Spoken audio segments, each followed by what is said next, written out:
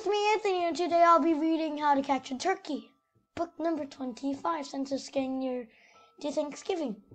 This is our last Thanksgiving book of this year, so I hope you enjoy this. If you like this one, like it and subscribe if you haven't already.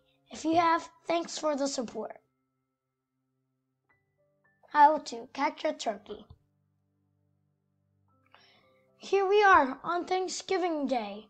It's that special time of year. Yes, I know, I am a turkey. That much should be clear. So gather round, I have a tale, and it's really quite a story. What I tell you is not a joke, it's my crowning glory. Uh, be, all began one year ago. I was at a school, you see. Play preparations were underway, but that didn't matter to me.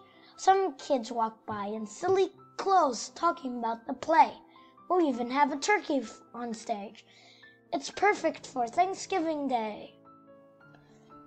Turkey stage? No way, no how. Had I really heard that right? I broke out my pen and ran away with a bad case of stage fright. I burst into the science room, knocked over flasks and beakers, and the cry of Catch that turkey boomed over the loudspeakers.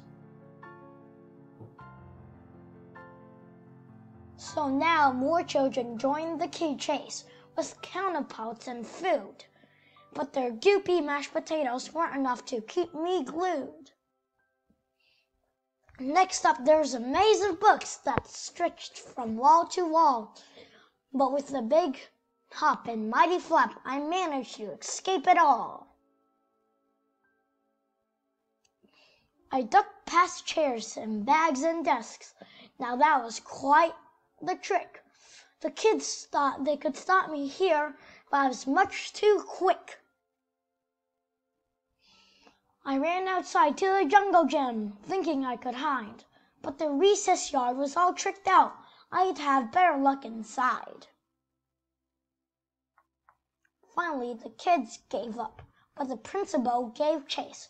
My only hope was escaping her, was keeping up my pace. I slid into the coach's room and crashed into a chair. I got tangled up in jerseys, but I won't get stuck in there. I ran into a curtain, but there was nowhere else to go. I couldn't get past the principal, but the curtain led to the show. My heart was racing. I started to sweat. I couldn't walk or run. I took a deep breath. I can do this. Who knows? This might be fun. A kid stood up and pointed. Oh my gosh, he's so cute. He really is, a parent agreed, in his little mascot suit. I started to smile and even dance while the crowd continued to cheer. Cheer. I was filled with joy that I took the chance, and that's what started my mascot career. Happy Thanksgiving, everyone! Hope you guys enjoyed this book. I'll see you in the next one.